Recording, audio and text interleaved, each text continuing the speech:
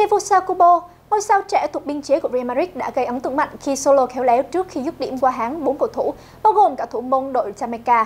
Pha mở tỷ số của Kubo đang làm sửng sốt cộng đồng mạng. 32, Kubo cắt vào trung lộ từ cánh phải trước khi tung cú sút mạnh mẽ đưa bóng qua háng của bốn cầu thủ Jamaica đi vào lưới, ba hậu vệ và thủ môn. Đây có thể xem là một trong những bàn thắng kỳ lạ của bóng đá thế giới và của chính Kubo. Và các bạn đừng quên subscribe channel thứ hai của chúng mình nữa kèm ở dưới phần mô tả để không bỏ lỡ những video mới nhé và luôn ủng hộ cho kênh của chúng mình nha.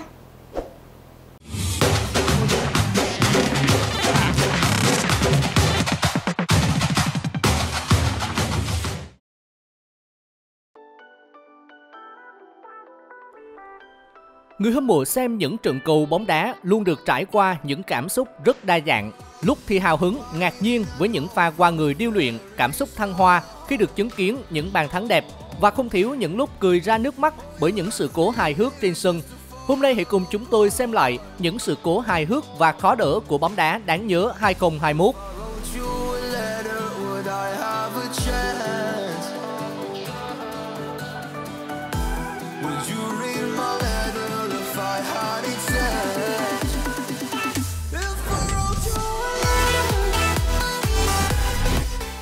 Trong trận đấu giữa Bồ Đào Nha và Israel mang tập dượt cuối cùng trước khi bước vào Euro 2020, Ronaldo đã để lại khoảnh khắc hài hước với pha sút phạt trực tiếp có thể xem là thảm họa nhất trong sự nghiệp.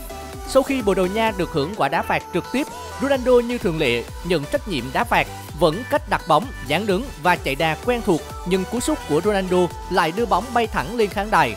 Khoảng cách của trái bóng quá xa so với khung thành khiến Ronaldo trở thành trò cười trên mạng xã hội. Trong ngày Chelsea hạ gục Man City, N'Golo Kante là cầu thủ đã để lại dấu ấn rất rõ nét. Những tình huống tranh chấp của Kante đem lại hiệu quả rất cao, khiến các cầu thủ của Man City phải rất đau đầu vì anh. Tuy chiều cao có giới hạn, Kante vẫn chơi ấn tượng trong cả các tình huống không chiến trước Man City. Hình ảnh Kante bật cao đánh đầu trong sự truy cản của hai hậu vệ to cao của Man City là minh chứng rõ nét nhất. Không chỉ chiến thắng mà anh còn khiến hai cầu thủ Man City phải ngã dúi dụi khi tranh chấp với mình. check.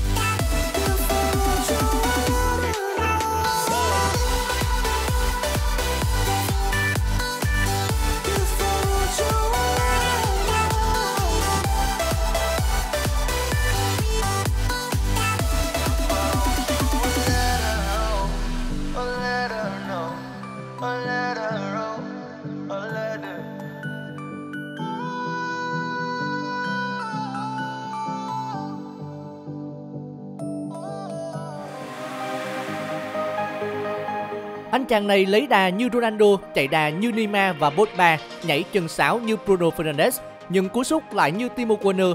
Tất cả tạo nên một quả penalty cực kỳ hài hước. Nhưng dù anh không thành công, nhưng anh ấy đã cho chúng ta biết rằng học cái gì thì nên học thuần thục một thứ thôi. Học nhiều mà không tin chỉ có thất bại thôi. Và sau đây chúng tôi xin giới thiệu một phong cách ăn mừng mới trong bóng đá, phong cách ăn mừng tàn mà không phế. Cầu thủ này sau khi sút penalty thành công đã ăn mừng theo phong cách rất kỳ lạ, anh đi như thể chân anh bị chuột rút.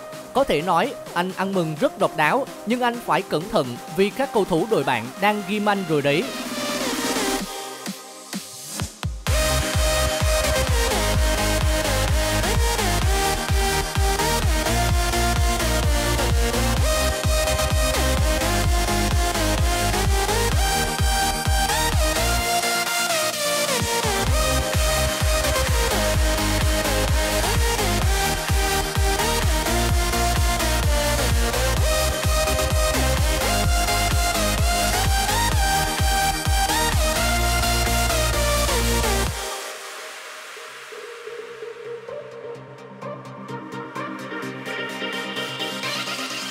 Vua phá lưới World Cup 2014 trượt ngã trên sân trong tình huống phối hợp đá phạt trận Đức Algeria ở vòng 16 đội.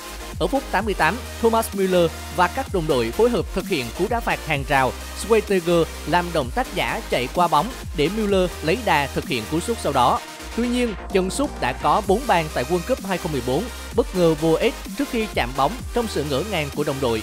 Müller cố gắng sửa chữa bằng việc lao vào vòng 16m50 để đón đường truyền, nhưng nỗ lực của anh không thành công. Để ngăn cản pha đi bóng tốc độ của cầu thủ áo trắng, cầu thủ áo đỏ đen đã thực hiện một cú soạt bóng rất chuyên nghiệp.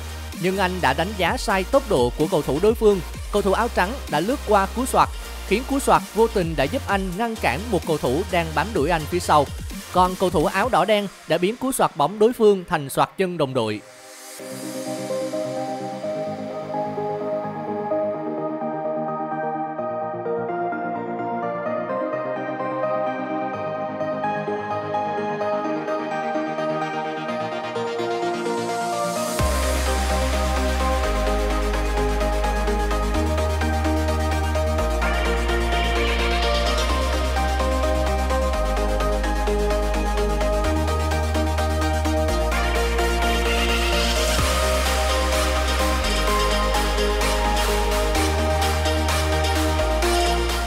Đây là pha ngăn cản cầu thủ đối phương hết sức thua thiển của Verratti. Sau pha tấn công bất thành để đối phương lấy được bóng và thực hiện pha phản công, Verratti đã nhanh chóng đuổi theo để ngăn cản, nhưng tốc độ của đối phương khiến anh bắt buộc phải phạm lỗi. Verratti đã có hành động kéo áo đối thủ từ khu vực giữa sân. Cầu thủ đối phương đã kéo lê Verratti một đoạn dài trên sân trước khi ngã xuống trong vẻ mặt mãn nguyện của Verratti. Có lẽ anh chàng thủ môn này đang định thực hiện một cú phất bóng mạnh lên trên, nhưng vì một lý do nào đó, cú sút lại không như ý, khiến bóng bay nhẹ và thấp đến ngay chân của tiền đạo cấm của đối phương. Chỉ chờ có vậy, tiền đạo này ngay lập tức có cú ghi bàn dễ dàng nhờ pha kiến tạo từ thủ môn đội bạn.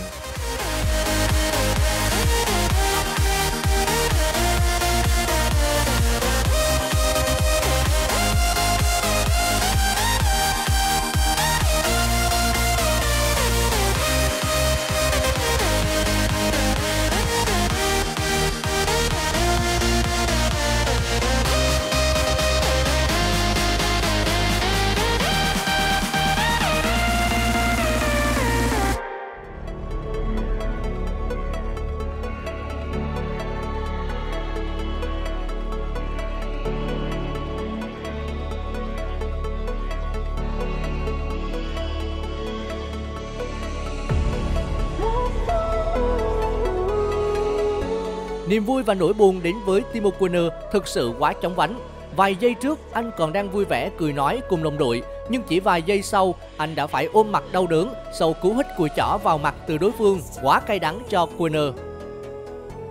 Là một cầu thủ dễ thương và lối chơi rất hiệu quả, nhưng N'Golo Kante cũng có những giây phút bị lát tạm thời trên sân. Đây là tình huống Chelsea được thực hiện quả ném biên. Mason Mount đã ném quả bóng về phía Kante, nhưng trong một thoáng mất tập trung, thay vì đỡ bóng và phát triển bóng như bình thường, Kante lại dùng tay chụp lại bóng một cách rất ngây thơ.